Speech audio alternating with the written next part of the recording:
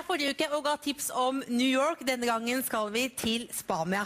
Eh, Og du, globetrotter eh, Jørgen Brekke, du har jo bodd mye i Spania, du. Du har annet vært eh, veldig mye i Valencia. Jeg har vært mye i Valencia?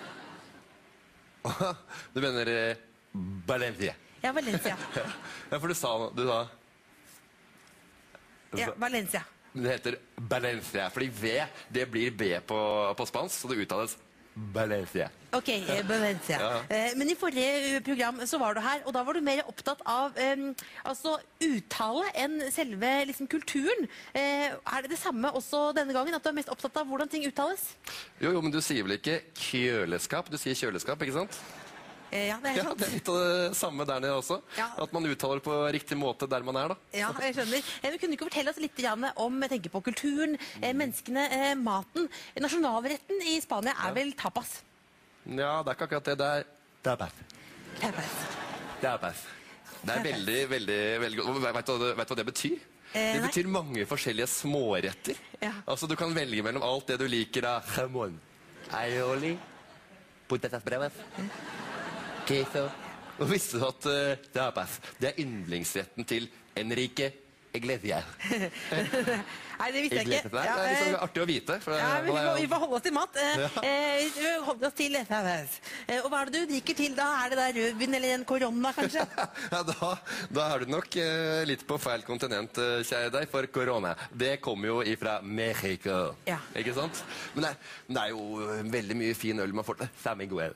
Det kan du drikke til. det er baff. Men det er jo masse fint norsk og øl også som fungerer. da. For eksempel den der Ringnes. Den er god. Ha, helse. Og hva den heter den der eh, Uff, den er like mange ganger. Den Ø. Å, Ø. å, Ø. å. Ø. Ås! Ås, ja. Ås sommerøl. Ås sommerøl. Ås Hva sa du? Ås sommerøl.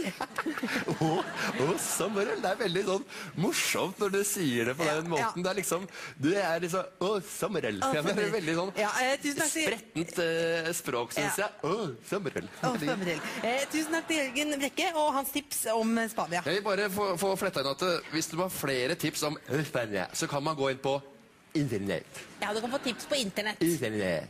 Internett. In- Internett. Internett. Internett. Internett. Internett. Internett. Men også hvis du har problemer med å si det, så, så forstår du også hvis man spør eh, sier Internet. Internet, det er liksom worldwide. Ja. Donde esta internet café? Internet café. Donde esta internet cafeteria? Donde internet Internett Ja, hvor er uh, internett eh, stedet som man kan sende Internet. chatte med mail eller, Ja. eh, eller på Facebook? Ja. Eller, ha. Twitter. Tusen takk for at du kom og delte dine tips med oss. Globetrotter Jørgen Brekke.